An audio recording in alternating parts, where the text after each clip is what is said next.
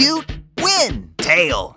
Oh, hi, Tibs here. Welcome to Cute Win Tail, where each week we watch one cute clip, one win clip, and one tail clip. Then you, not me, vote for the clip you think is best in show, and the losing clips get a rain of bones. Don't forget to vote for your favorite by leaving a comment of cute, win, or tail. Last week we had Puppy Scuffle Cute, Fart and Face, Lynn, Cage Fight Kitties, Tail.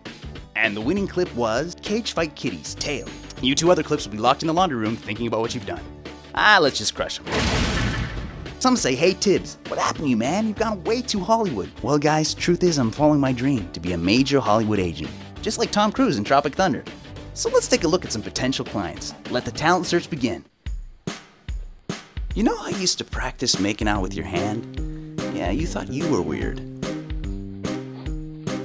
And she's wondering where the TMJ is coming from. Eh, just Google it. This is kind of gross, actually. This parrot clearly has no idea how filthy human mouths are.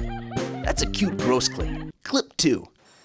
I'll get the catnip, you get the friskies, go! I thought you cased this joint. I'm Bailey, Bill. I have priors. Okay, these guys are the world's worst cat burgers.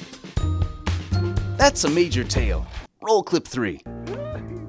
So this dog is an attack dog, but only for themed characters. I hope they never take this dog to Hollywood Boulevard, but there will be tears. This is what makes Halloween worth it for the parents.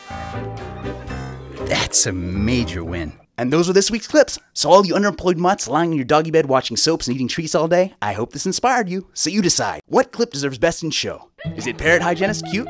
Cat burglar's tail? Or furry attack dog win? Vote by leaving a comment below. Ah, uh, seagull.